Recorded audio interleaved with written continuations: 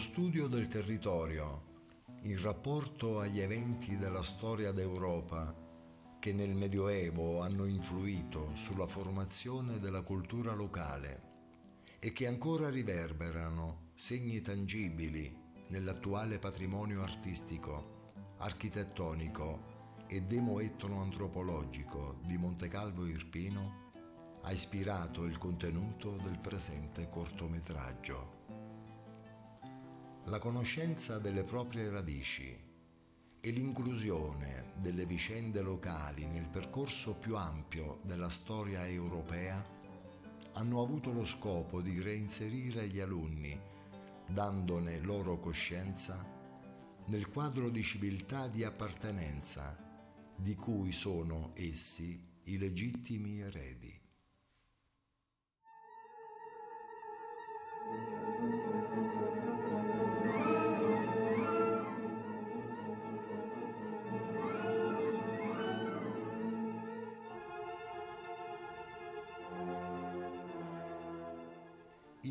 Innestata sul male, inteso in senso cristiano, e sull'ambizione di poteri straordinari, indispensabili per combattere irrazionali sciagure, singole o collettive, la leggenda delle Ianare, le streghe, impaurì, affascinò e accompagnò le vicende umane in Europa per tutto il Medioevo fu al fuoco dei camini delle antiche taverne situate lungo le vie Appia e Traiana che i primi racconti fantastici cominciarono a diffonderne l'eco che dal Ponte Valentino in Benevento al Ponte dei Diavoli in Monte Calvo ancora oggi incanta e si propaga.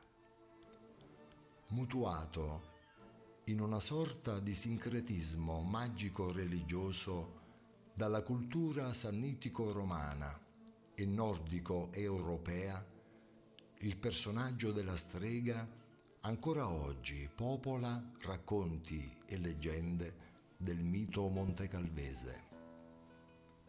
Dal castello e dai medievali vicoli di Montecalvo Irpino il menestrello introduce la terrificante storia delle Ianare, Dianare o streghe, nome derivante dalla dea Diana di cui erano sacerdotesse.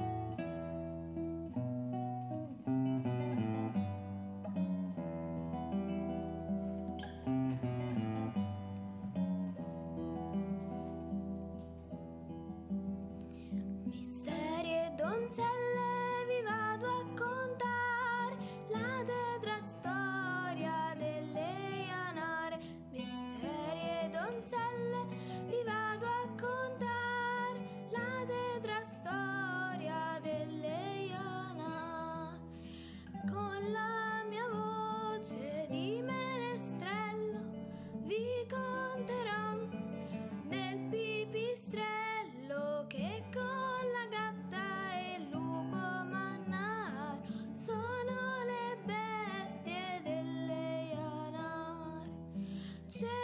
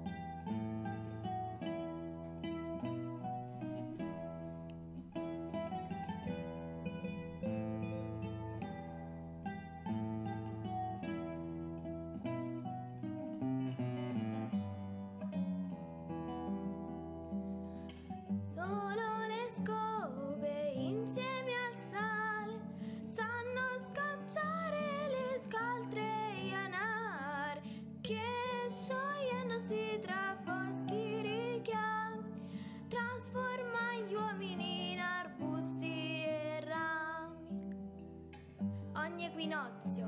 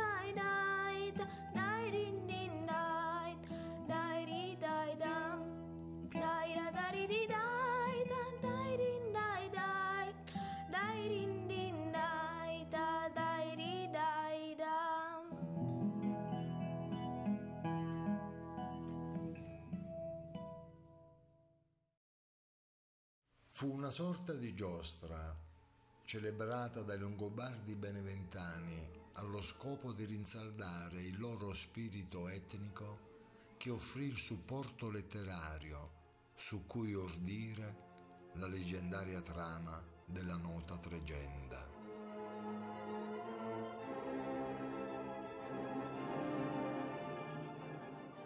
Intorno ad Yggdrasil, l'albero sacro del dio Odino, i cavalieri dalla lunga barba turbinavano veloci. Yggdrasil divenne noce, i cavalieri si tramutarono in streghe e stregoni, le lunghe lance furono i manici di leggendarie scope volanti. Ai piedi di un maestoso noce della campagna montecalvese, le streghe di Monte Calvo, dopo aver portato scompiglio, danno vita alla diabolica ridda.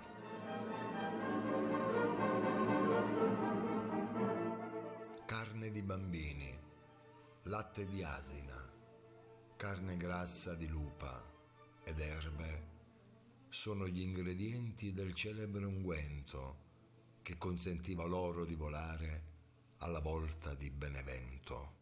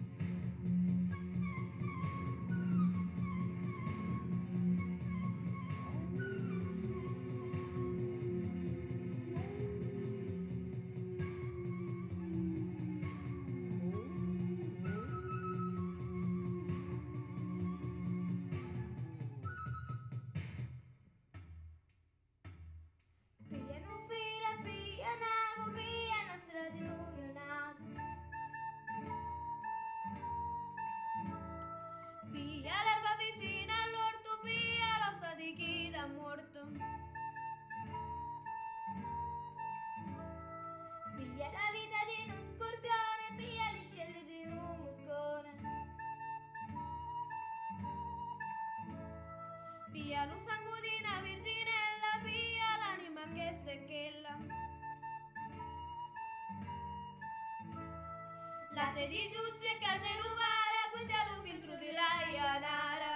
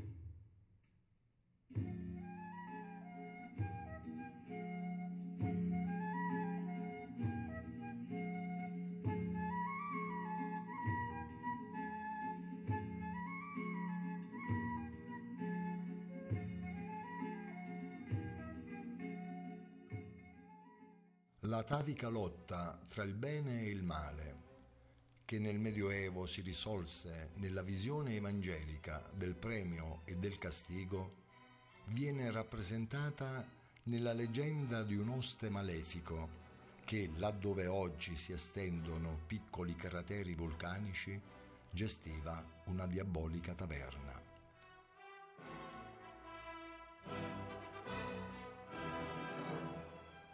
La sua fama divenne grande nel Medioevo, allorché di lì passavano con terrore i pellegrini diretti al santuario dell'Arcangelo Michele sul monte Gargano. Quel luogo aveva già ispirato presso gli antichi il culto di Mefite, dea degli inferi. L'oste malvagio si arricchiva alle spalle dei clienti più facoltosi, uccidendoli e impossessandosi dei loro averi. La carne delle vittime, di preferenza quella più tenera dei bambini, veniva servita ai malcapitati avventori. Preoccupandosi di risalire all'origine del misterioso fenomeno vulcanico, la leggenda racconta di una lotta fra due forze malefiche, l'Oste e Satana. Quest'ultimo, travestito da monaco, avrebbe eliminato il rivale facendolo sprofondare nelle viscere della terra, che ancora oggi, in quel punto, conserverebbe una delle porte per l'inferno.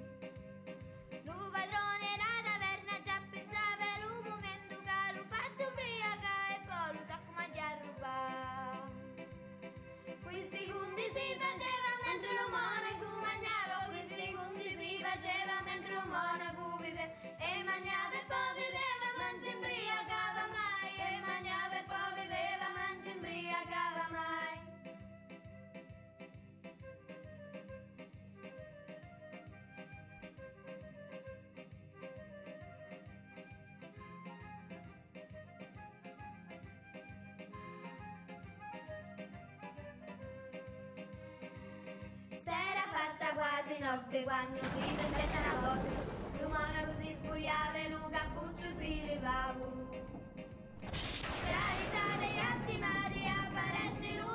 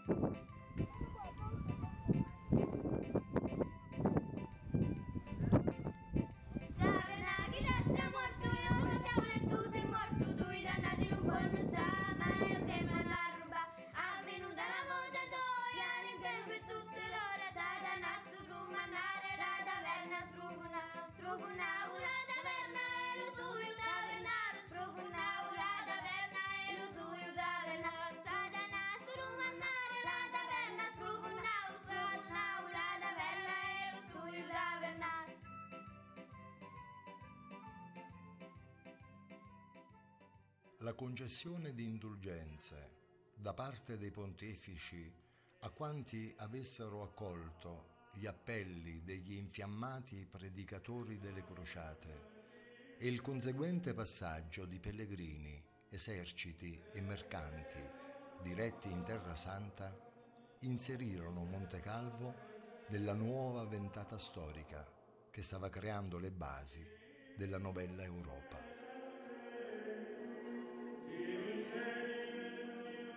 In questo contesto si inserisce la nascita dell'ospedale di Santa Caterina d'Alessandria, che i superstiti montecalvesi della prima crociata, a cui il paese aveva partecipato con un drappello di circa 40 uomini, addossarono ai bastioni dell'antica cerchia muraria.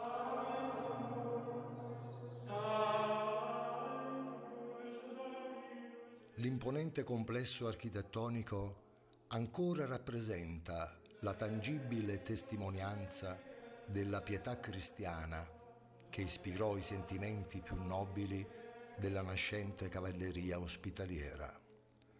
Templari e cavalieri di Malta si alternarono nella sua gestione, dando vita, sin dagli albori della loro storia, all'omonima fiera che ancora oggi, nel novembre di ciascun anno, riecheggia le pagine antiche della sua storia.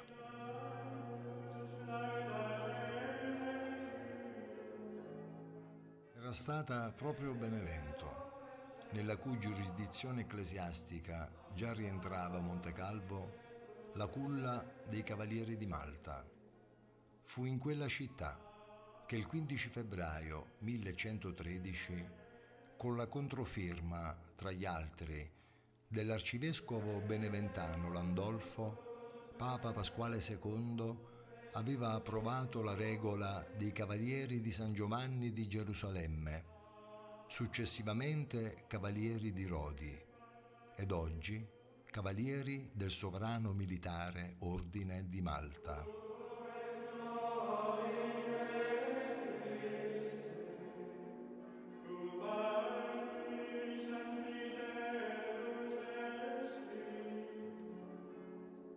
L'ospedale di Santa Caterina d'Alessandria, che già nel titolo ci proietta a ritroso nel tempo, non è solo un superbo gioiello di architettura medievale, ma luogo ideale per la ricomposizione di affascinanti trame e scrigno prezioso di millenari ricordi. Le vicende che lo riguardano attraversano per intero il secondo millennio dell'era cristiana e diventano oggi punto di forza per una solida progettazione del nostro futuro culturale ed economico che, avvalendosi di solide basi, a buon titolo possa farci definire cittadini d'Europa.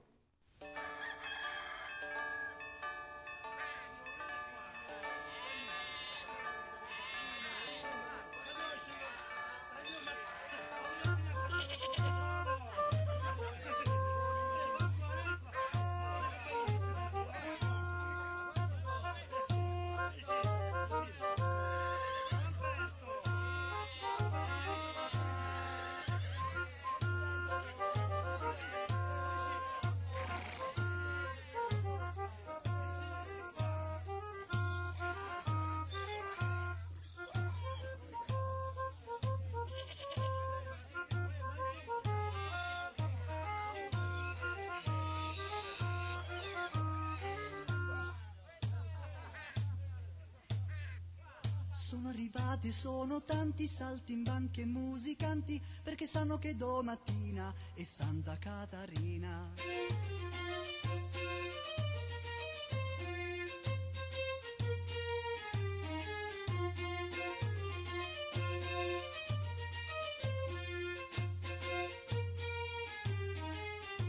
Il signore del castello ha deciso che solo quello che onore e grazia ha questa fiera da Cumanà.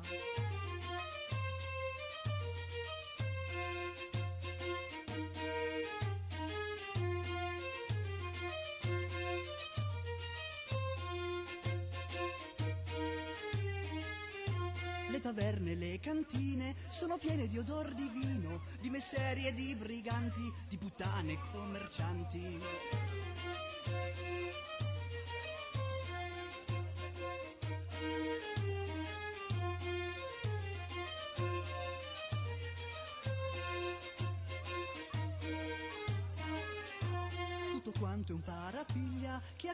Chi scompiglia, chi vicino al fuoco sta, fino all'alba ad aspettare.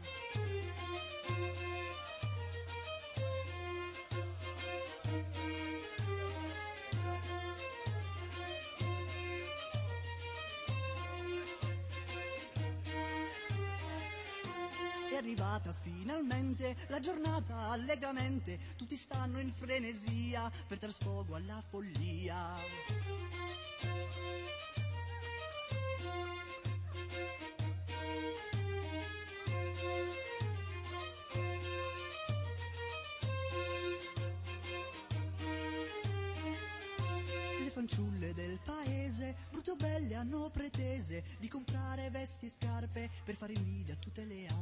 Ma il padre le ripiglia di pensare alla famiglia, di recitare un altro credo e prepararsi per corredo.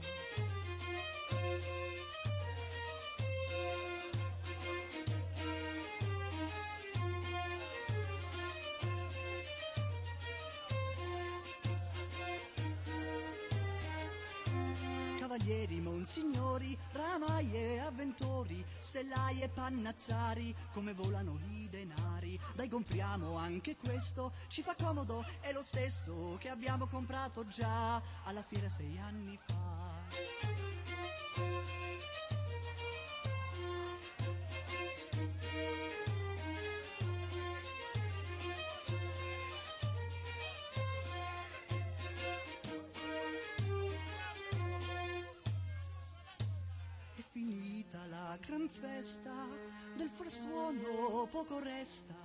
Son partiti tutti quanti, buffoni e viandanti. Anche il povero pezzente, che non ha proprio un bel niente, si riscalda al fuocherello e si avvolge nel mantello dato lì da un giovin per bene, di cui non ricorda il nome, che gli ha detto di partir prima, di ringraziar Santa Catarina.